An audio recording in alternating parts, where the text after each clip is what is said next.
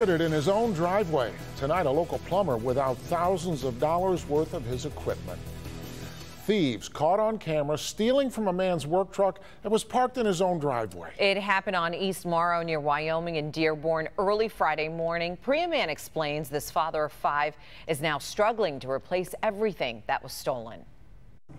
Within a week, a plumber's work truck has been ransacked twice. In total, more than $4,000 worth of tools stolen from his driveway. It's just not fair how they come in, take what they want, and just go away with, without being caught. While a family of seven slept early Friday morning, thieves pulled up outside their home. The minivan came this way, stopped right behind my father's truck. The passenger came out of the vehicle, went from the passenger side. As he got to the back of the truck, the driver got out and came behind him. They took out the first two cables.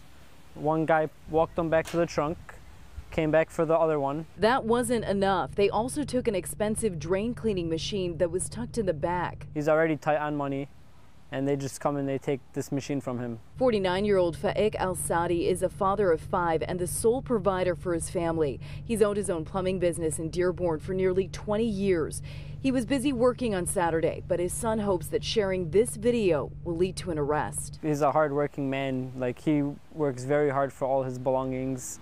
Why would they come and just take it right from him? And the family says this has been an ongoing issue. Thieves targeting cars in the middle of the night. That's why so many have installed home security cameras. If you have any information, you're urged to call police. Reporting from Dearborn, I'm Priya Mann, Local 4.